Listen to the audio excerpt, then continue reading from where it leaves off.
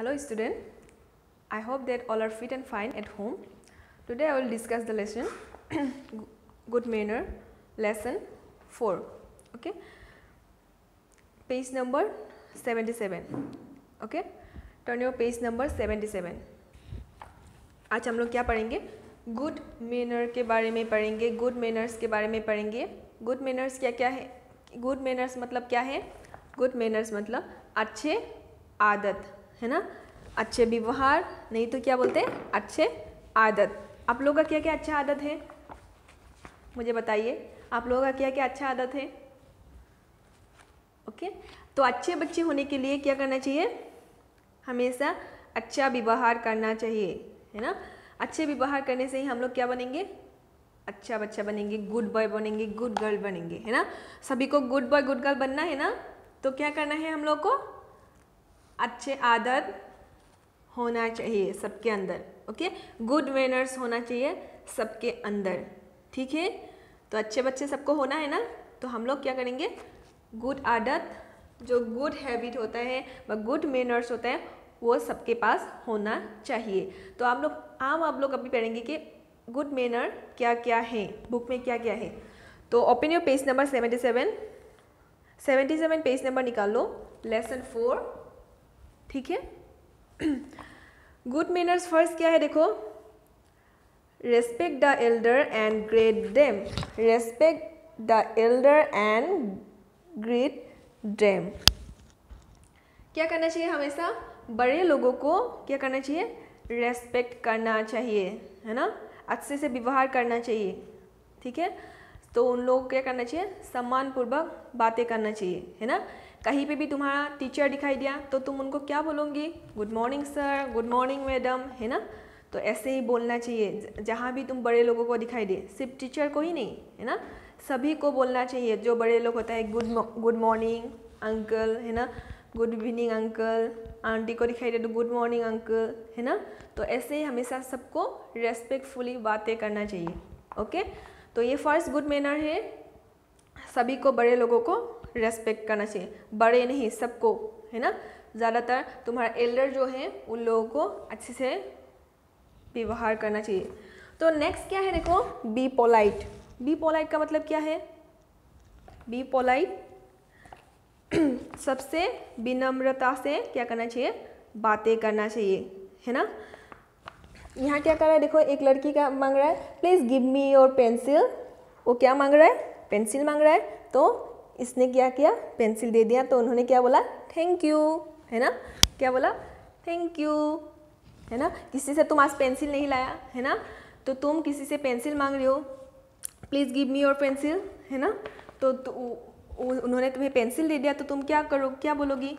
Thank you क्योंकि उन्होंने तुम्हें मदद किया है है ना? तो इसलिए हमेशा बी पोलाइट होना चाहिए विनम्र होना चाहिए है ना? तो क्या सभी के साथ विनम्र होना, कोई भी तुम्हें मदद करे तो उसको, उनको क्या बोलना चाहिए? थैंक यू बोलना चाहिए, है ना? तो वो क्या है? एक गुड मैनर ओके थर्ड क्या है? देखो बी पंक्चुअल बी पंक्चुअल मतलब क्या है? हमेशा क्या करना चाहिए?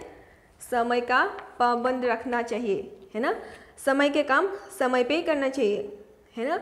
अभी तुम्हें शाम को क्या है? होमवर्क का टाइम होता है, पढ़ने का टाइम होता है, तब तुम लोग क्या करते रहते हो? टीवी देखते रहते हो, कार्टून देखते रहते हो, है ना? ऐसा कभी भी नहीं करना चाहिए, है ना? बी पंक्चुअल समय का पाबंद सभी को रखना चाहिए, है ना? समय के काम समय पे ही करना चाहिए। जब पढ़ने का टाइम है, तब क्या करना चाहिए? पढ़ना चाहिए। जब टीवी देखने का टाइम है, तब टीवी देखना चाहिए, है ना? जब खाना खाने का टाइम है, तभी खाना खाना चाहिए, है ना?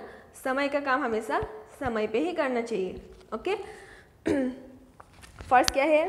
Respect the elder and greet them third क्या है? Be polite be punctual fourth क्या है? बी गुड फेयरिंग है ना? Be God fearing be God fearing तो क्या करना चाहिए? हमेशा भगवान से क्या करना चाहिए? डरना चाहिए. है ना? ईश्वर से डरना चाहिए. है ना? कुछ भी गलत काम नहीं करना चाहिए, क्योंकि भगवान ऊपर से सबको देखते रहते हैं. है ना? भगवान ऊपर से सबको देखते रहते तुम अच्छा काम करोगी, भगवान खुश हो जाएगा, है ना? तुम्हें हमेशा मदद करेगा। तुम अच्छा काम नहीं करोगी, पिटाई करोगी, मारामारी करोगी स्कूल में, है ना? बदमाशी करोगी तो भगवान गुस्सा हो जाएगा और तुम्हें कभी भी मदद नहीं करेगा, है ना? इसलिए बी गॉड फेयरिंग मतलब इस वर्ड से डरना चाहिए। उसके बाद देखो help the poor and needy जो पोर लोग हैं, जो ज़रूरतमंद लोग हैं, उनको क्या करना चाहिए? हेल्प करना चाहिए। क्या करना चाहिए? हेल्प करना चाहिए। हेल्प मतलब मदद करना चाहिए, है ना?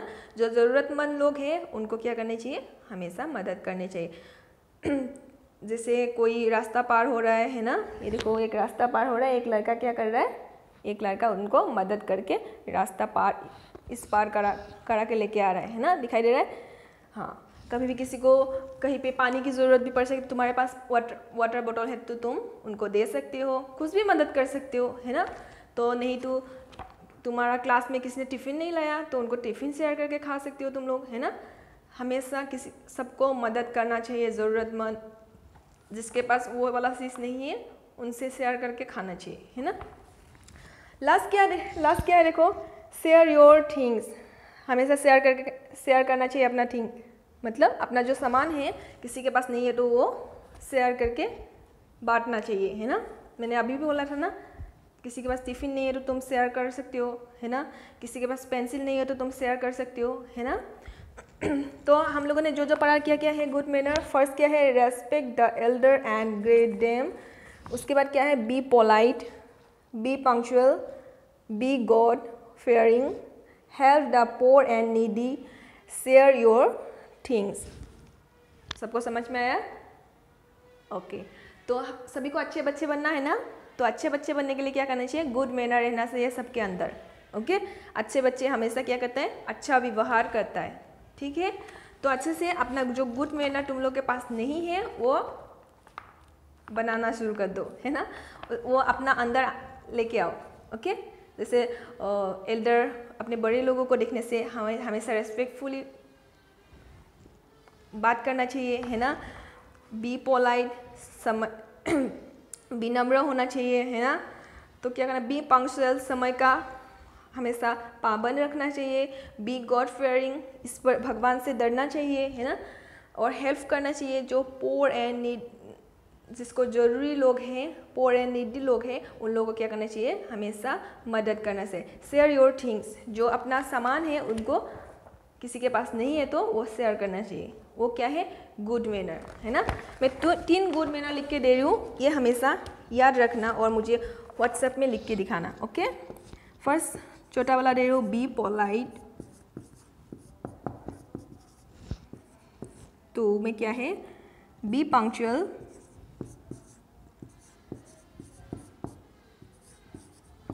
थर्ड क्या है? बी गॉड फेयरिंग और एक दे रही हूँ। Share your thing okay first क्या है? Be polite be punctual be God fearing share your things okay I hope so सबको समझ में आया है है ना? आज के लिए इतना ही. Thank you